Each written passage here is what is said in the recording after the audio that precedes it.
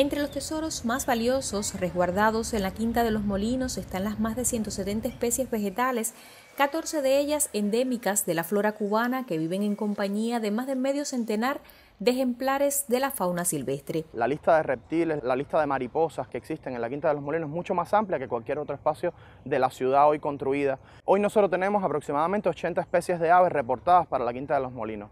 Incluso por ahí está, y si vienen pueden encontrar una cartacuba, que en otro lugar de la ciudad no lo vas a poder encontrar. Recientemente la Facultad de Biología reportó por primera vez una cartacuba anidando dentro de la Quinta de los Molinos. A uno de los pulmones verdes de La Habana llegan también aves de lejanas geografías. En esta temporada en que tenemos la migración de aves que vienen después de atravesar el estrecho de la Florida, una, una parte del Océano Atlántico, llegan a Cuba y se encuentran con la ciudad de La Habana. Entonces, estos espacios como la Quinta de los Molinos, Monte Barreto, el, Parque Metropolitano de La Habana, el Parque Almendares, es un lugar que representa como la salvación. Y por lo tanto, en este momento, es un momento en el que la Quinta de los Molinos se llena de aves. Eso es un ejemplo de lo que representan los espacios verdes para la conservación de la biodiversidad en las ciudades.